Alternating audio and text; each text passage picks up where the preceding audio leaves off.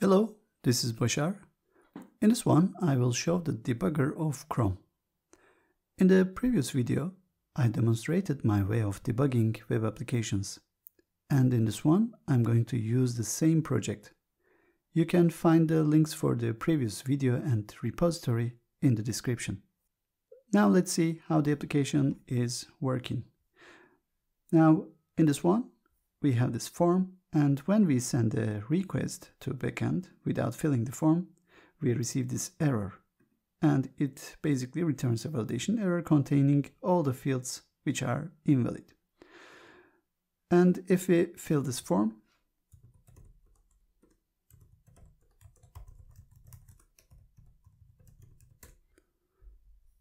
and send the request once again, here we are receiving 200 OK and we have this message saying please check your email for account activation. But the application is stuck at this point. We don't see this message being popped up anywhere and we just have this spinner and if we check the console we have this error saying there's this error cannot read properties of undefined. In the previous one I showed how we can debug the issues for this type of errors. Now in this one we are going to do the debugging with the Chrome developer tools. This error is thrown here in this file signup.js and line 55. If you just click this one, it's going to be switching to the, the sources tab right here and it's going to be opening that file. Let's try that, just clicking this one and here we are in sources tab and the file signup.js is opened. And here we see the underline for the error part. Now we are going to debug this function. This is the submit function and this is being called as soon as we click the sign up button. So first thing, I'm just going to reload the application. So we are at initial state. Now I'm going to do the debugging in this file, but before that I just want to show how we can open the files in the sources manually. So right here we have the options and just clicking Command P and this is Control P in Windows and I type the file name, sign up, and here we see the matching one, just clicking it. Now we can add the debugger uh, and breakpoints into, into this file and we can just add breakpoint by just toggling the line, just clicking the line is like enabling a breakpoint for this line and we also have the list of breakpoints right here in this section and we can have multiple breakpoints like this. So just clicking line adds a breakpoint. And let's see how the application is working with this condition. So just clicking the sign up and here we have this information right here and also we have the highlighted part. This line is highlighted and the breakpoint is basically stopping the code execution and here we have the options to just resume the script execution or we can just uh, go step by step in each of these lines or if there are functions like these, like for instance, we are calling event prevent default, and we can just uh, step into this function and we can just debug the step by step uh, in that function to see how it is working. But for now, let's just not focus to that part. Basically, we are just going to go through this, uh, this function uh, right here. So we are going to use this uh, functionality, step over functionality, and just stepping over. Now we are at the body line, this line 45. At the moment the form is empty and we are going to create this body object which will be passed to the Axios later. And if we hover the variable, uh, we see it is undefined because it's going to be defined in this line and we haven't executed this one yet. And uh, we can also see the the values of these variables, the username, email, and password. These are coming from the state. Initially, they are having the uh, empty text value.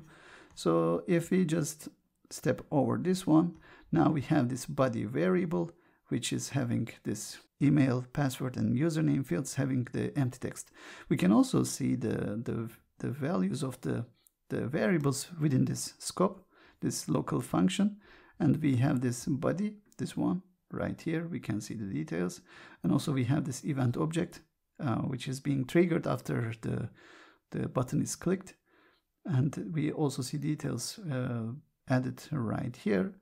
Now we have the body object, which is empty. And to keep track of the API progress, we have this state variable API progress right here, this one, which is initially false. So we set it to true, just stepping over.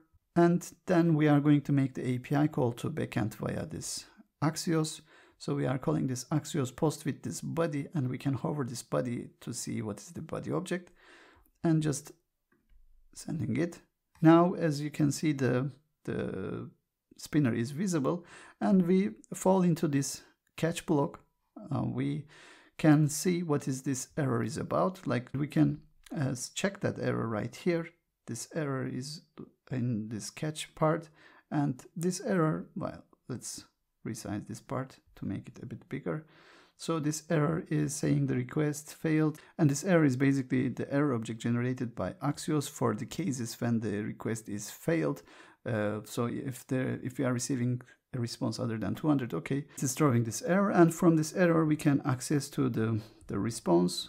And in this response, we have this data. We In this data, we have the validation errors. Basically, we do that right here. And we set the errors to this errors object and then later we use those errors in the inputs right here uh, to show the error. So just uh, we are at this line and stepping over and the errors are visible at this point and I'm just stepping over at this line setting API progress to false to make this uh, this part this buttons uh, spinner to be gone. So we completed the function and just clicking resume. Now we are finished. So the, the validation part is working properly. Now let's send the request, the valid request to backend. So we are sending user one, user one at mail.com and password. Again, we have this breakpoint right here and just clicking the sign up. So this uh, is uh, stopped at this line and going over this one and let's see how the body object is created. And here we have the email, password, username. So this is the these are the values we type into these inputs. Then setting the API progress to true. And we are going to call the Axios post. And here the request is receiving 200 OK. Here we can see the status is 200 OK and the response has this data. And in this data, we have the message saying, please check your email for account activation. But the problem is we try to use that message. We try to set that message into our state as this sign up success message.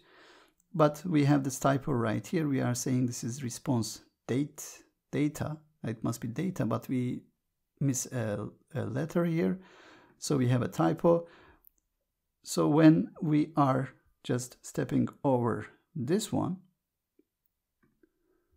here we can see the, the code is jumped to the catch block. And we have another error this time. This is not the Axios uh, error object for the fail responses. It's triggered within this line. So the error we are trying to process at this line is not the actual the, the error object coming from uh, the Axios.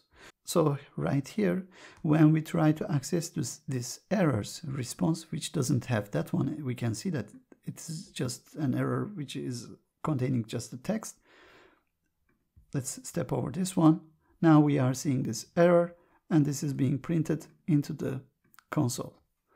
So we, we got this error. It is saying cannot read properties of undefined and it's trying to read data.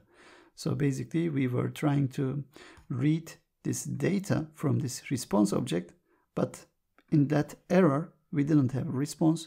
Therefore, a response was undefined. And when we tried to access an, a the field of an undefined object, we got that error. So that's how we can use the Chrome for debugger. And we can use uh, in cases like this one, if we are not sure how the actual flow is going, uh, this is making it easier to, to understand how the step-by-step -step progress is being taken in this function. So this is a useful approach to debug the issues. But um, please keep in mind the sign up page is just like as the, the source code we have in the project. It's visible right here. But if you are running this debugger on a on a, a, a production code, uh, which is built for the production, you may not be able to see the, the, the, the, implementation as clear, clear as this one, as readable as this one. So, so this is mainly useful during the development. And that's all for this tutorial. Thanks for watching and hope to see you in the next one.